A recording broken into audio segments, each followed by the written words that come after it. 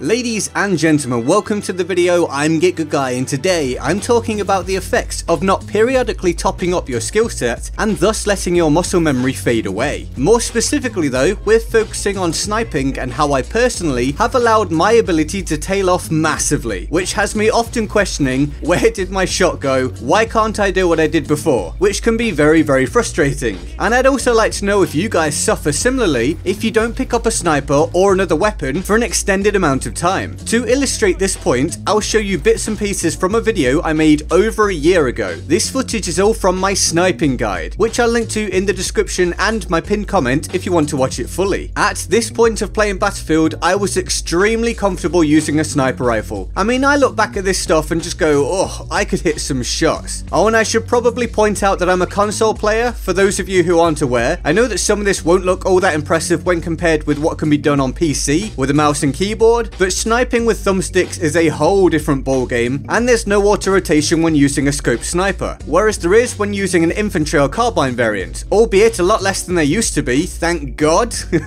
because it was ridiculous before. But anyway, I can no longer do a fair amount of what you're watching, or at least not as reliably. The ability has just faded, and that's not particularly unusual. I pick up a sniper much less frequently now than I used to, and what with covering all the weapons that I have on this channel, there's just less opportunity to snipe and thus maintain or improve upon what I'm capable of. So I'm not going to pretend that today we're looking at some super intellectual concept or anything like that. I was just like, huh, I'm not as good at this as I used to be, which sucks, but I found it interesting. And I guess it's just good for you guys to hear that sometimes as well. You know, so you don't get that perception that content creators are just good regardless of what they do or whatever. So if you struggle sometimes, don't sweat it. It happens literally to everybody, just to different degrees. Do you think, say, a pro COD or CSGO player cannot play the game for a year or so and then jump straight back into competition and achieve the same level they could before? Of course not. So don't expect yourself to be able to do it either. It's going to take me some time to get my sniper shot back. If I decide I want to get back to where I was before and I'm willing to put the time in. Realistically though, I probably won't on BF1. It'd be a harder grind now with the faster TTK of almost all other weapons and I'm just not into BF1 like I was before. But I absolutely would like to pull off some crispy sniper sniping when Battlefield 5 drops, so I'll almost certainly be putting the time and effort in then, because it feels good to be able to snipe well, at least for me, and I'm sure for many other people. And I'm certain there's a lot of people out there who'll be queuing up to watch some sweet sniper gameplay on a new Battlefield title. I know I will be, but my current level of ability means you shouldn't be expecting me to go ham with a sniper on stream anytime soon. Wait, what? Did he just say the S word? Stream? Yes, that thing I've mentioned multiple times in the past few months, and you've had to wait patiently for it as it just hasn't materialized. Well, I intend to stream at some point in the next 7 days or so. I'm not exactly sure when, but I have almost everything sorted now. I just want to tweak my audio a little and a few more things. But yeah, I'll be streaming. I'm thinking of kicking it all off with kind of the start of an episodial thing, which will be called Service Star Hunter. As I recently said, I tried to get a Service Star with every primary weapon in the game. I figured why not chill out and do it whilst talking to you guys. So I hope you'll be looking forward to that. Along with BF1 streams, I then plan to also do some long streams when the Forsaken DLC drops for Destiny 2, and then soon after that we'll be into Battlefield 5. So it's all exciting stuff. And now, make sure you let me know in the comments below how you find returning to sniping or a specific weapon when you haven't used it for a long time. I'd be very interested to hear your experiences. And as I'm sure the vast majority of people usually click off the video as it's winding down, here's a potential reward for staying this deep into the video. What you're seeing on screen now is a code for the PC alpha of Battlefield 5, which is running currently. I managed to get hold of it yesterday and I figured as I don't play PC, I'd let one of you guys enjoy it. So the first person to enter that code will be able to play the alpha for the next day or two, or whenever it ends. I think it's a day or two, we'll see. Whoever you are, I hope you enjoy it. If you enjoyed the video as a whole, a like rating would be appreciated, as would a subscription if you're new here. And finally, turn on those notifications so YouTube doesn't cause you to miss future videos. Now let's go over to the Board of Awesome for the epic people who allow you to get content from me full time. Patreon support literally allows me to do what I'm doing now because otherwise I'd need to go and get another job. So thank you so very much to everyone on here. If you want to join them on the Board of Awesome, links to the Patreon page are in the description and in my pinned comment. And with that all said, I'm Get Good Guy and I'll see you next time. Laters.